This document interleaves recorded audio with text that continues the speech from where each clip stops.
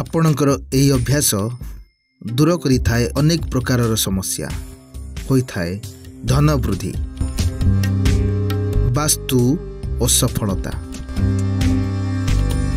ଅଧିକାଂଶ ସମୟରେ ଆପଣ ବହୁ ଅଧିକା ପରିଶ୍ରମ କରୁଛନ୍ତି। ହେଲେ ମନ ମୁତାବକ ସଞ୍ଚୟ କରିପାରୁନାହାନ୍ତି। ଯେତେ ଚେଷ୍ଟା କଲେ ମଧ୍ୟ ପାଖରେ ପଇସା ରହୁନାହିଁ। ତେବେ ଆମ ଭାରତୀୟ ପୁରାଣ ଶାସ୍ତ୍ରରେ ଏମିତି କିଛି ବର୍ଣ୍ଣନା ରହିଛି ଯେଉଁଥିରେ ଆପଣଙ୍କର ଆର୍ଥିକ ସମସ୍ୟା ଦୂର ହୋଇପାରେ। ବାସ୍ତୁଶାସ୍ତ୍ର ଅନୁଯାୟୀ ଅଯଥାରେ ହେଉଥିବା ଖର୍ଚ୍ଚ ରୋକିବା ପାଇଁ ଶୋଇବା ପୂର୍ବରୁ ଏକ ବିଶେଷ କାର୍ଯ୍ୟ କରନ୍ତୁ। ନିୟମିତ ଶୋଇବା ପୂର୍ବରୁ ହାତ ଗୋଡ଼ ଭଲ ଭାବରେ ଧୁଅନ୍ତୁ ମାତ୍ର ଧ୍ୟାନ ରଖନ୍ତୁ। ବିଛଣାକୁ ଯିବା ପୂର୍ବରୁ ହାତ ଗୋଡ଼ ଭଲ ଭାବରେ ପୋଛିଦେବେ। ଯଦି ଶୀତ ଦିନ ବା ଥଣ୍ଡା ଦିନ ତେବେ ଉଷୁମ ପାଣିରେ ଏହା କରନ୍ତୁ।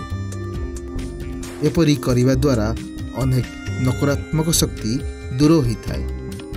ପ୍ରାୟ ଅଧିକାଂଶ ଧର୍ମରେ ପବିତ୍ର ସ୍ଥାନକୁ ପ୍ରବେଶ କରିବା ପୂର୍ବରୁ ହାତ ଗୋଡ଼ ଏବଂ ମୁହଁକୁ ଧୋଇବା ପାଇଁ ଏହି କାରଣରୁ କୁହାଯାଇଥାଏ। ଏହାଦ୍ୱାରା ଥକାପଣ ଦୂର ହେବା ସହ ଉତ୍ତମ ନିଦ ମଧ୍ୟ ହୋଇଥାଏ। ମନ ପ୍ରସନ୍ନ ରହିଥାଏ। ଜୀବନରେ ସକାରାତ୍ମକ ଶକ୍ତି ବୃଦ୍ଧି ପାଇଥାଏ। ପ୍ରତ୍ୟେକ କାର୍ଯ୍ୟରେ ସଫଳତା ମିଳେ।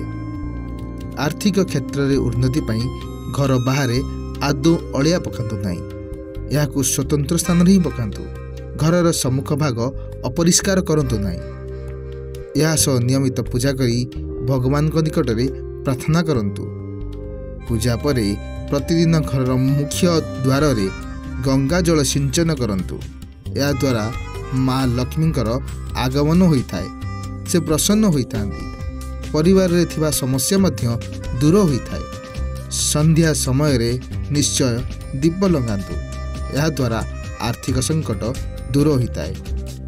ଘରେ ନିୟମିତ ପୂଜା କରନ୍ତୁ। ସକାଳ ସନ୍ଧ୍ୟାରେ ନିୟମିତ କର୍ପୂର ଆଳତି କରନ୍ତୁ। ମାନ୍ୟତା ଅନୁଯାୟୀ କର୍ପୂର ବାସ୍ନାରେ ସମଗ୍ର ଘରେ ସକାରାତ୍ମକ ଶକ୍ତି ପ୍ରବେଶ କରେ। ନକାରାତ୍ମକ ଶକ୍ତି ଦୂର ହୋଇଥାଏ।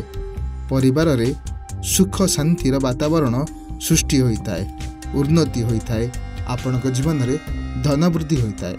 ସବୁବେଳେ ସକାରାତ୍ମକ ରୁହନ୍ତୁ। ଏହାଦ୍ୱାରା ଆପଣଙ୍କ ମନୋବଳ ମଧ୍ୟ ବୃଦ୍ଧି ପାଇବ।